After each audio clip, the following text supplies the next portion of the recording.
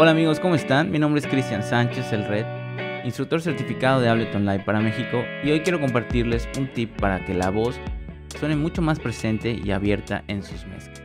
Vamos allá. Aquí tengo la voz, una voz seca, limpia. ¡Qué bonitos ojos tienes! Y lo que vamos a hacer es crear un nuevo canal de audio.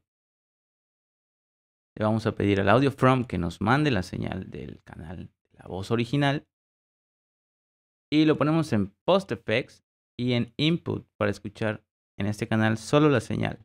¡Qué bonitos ojos tienes! ok, ahora vamos a agregar un shifter. Vamos acá, shifter. Cool. Y ahora escuchemos cómo suena.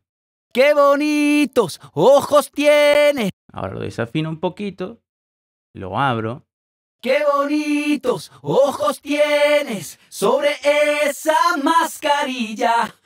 Ok, ahora escucho la voz original y voy subiendo un poquito la voz con el efecto. ¡Qué bonitos ojos tienes sobre esa mascarilla! Son dos soles que sonríen, luminosos sobre el mar. Bueno, Así pueden hacer que sus voces se escuchen mucho más abiertas y presentes en su mezcla. Nos vemos, yo soy Cristian Sánchez, el Red, y no olvides, haz más música.